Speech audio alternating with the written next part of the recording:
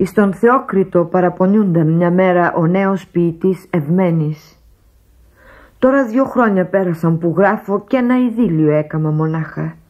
Το μόνον αρτιόν μου έργον είναι. Αλίμονο είναι υψηλή, το βλέπω πολύ υψηλή της πίσεως η σκάλα. Και από το σκαλί το πρώτο εδώ που είμαι ποτέ δεν θα ανεβώ δυστυχισμένος. Είπε ο Θεόκριτος. Αυτά τα λόγια ανάρμοστα και βλασφημίες είναι. Κι αν είσαι στο σκαλί το πρώτο, πρέπει να είσαι περήφανος και ευτυχισμένος. Εδώ που έφτασες, λίγο δεν είναι. Τόσο που έκαμες, μεγάλη δόξα. Κι αυτό ακόμη το σκαλί το πρώτο, πολύ από τον κοινό τον κόσμο απέχει.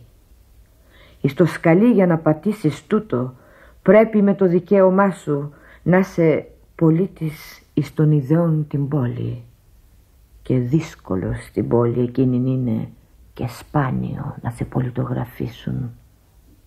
Στην αγορά της βρίσκεις νομοθέτας που δεν γελά κανένα τυχοδιώκτης. Εδώ που έφτασες λίγο δεν είναι. Τόσο που έκαμες μεγάλη δόξα.